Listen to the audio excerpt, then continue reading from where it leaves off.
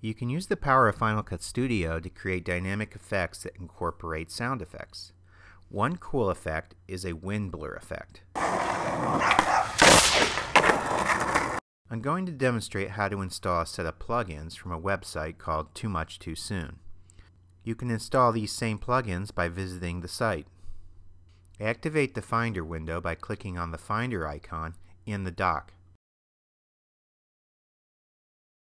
Navigate to the Library, Application Support, Final Cut Pro System Support, and Plugins folder. Drag the entire collection of the TMTS plugins into the folder. Then relaunch Final Cut Pro. To demonstrate the wind blur effect, I'll quickly edit two clips to a new sequence. Next, navigate to the Effects tab in the browser window and open the Video Transitions category. Look for the Too Much Too Soon category. Drag the wind blur transition between your two clips. Go ahead and play the sequence.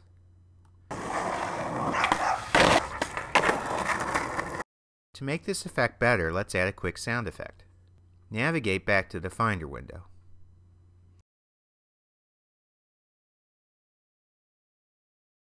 Then use the keyboard shortcut Command plus F to change the Finder window into a search window.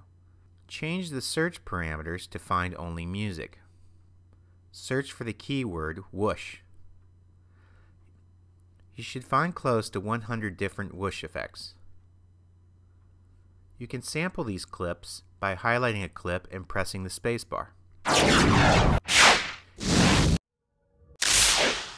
After you find a sound effect that you like, you can drag it straight from the Finder window into the timeline.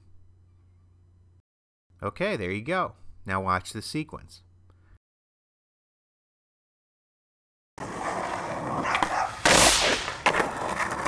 For other great tips like this, or to enroll in a Final Cut Pro training course, visit geniusdv.com.